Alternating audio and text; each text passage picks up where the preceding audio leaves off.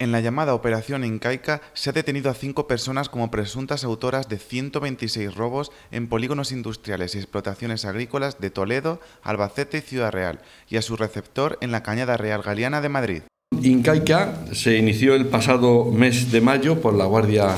Civil de Manzanares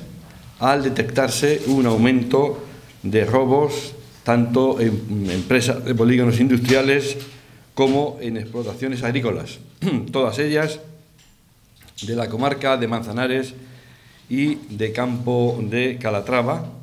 Este grupo criminal salía de Madrid con un turismo y posteriormente con una furgoneta para dirigirse cada uno a zonas diferentes donde se cometerían los robos, el turismo para objetos pequeños y la furgoneta para los de gran tamaño. Finalmente, los vehículos se reencontraban y volvían a Madrid, donde guardaban los objetos pequeños en sus domicilios y los grandes en una furgoneta averiada estacionada delante de los mismos. La Guardia Civil detectó la presencia de, ambos vehículos en la provincia de Ciudad Real, como ya se ha dicho, estableció un operativo con el apoyo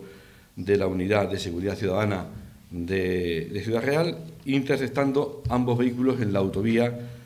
de Andalucía y deteniendo a cuatro de los integrantes de este grupo, cuando regresaban a. El valor de los daños causados y los efectos sustraídos en esta operación pueden superar ya los 500.000 euros.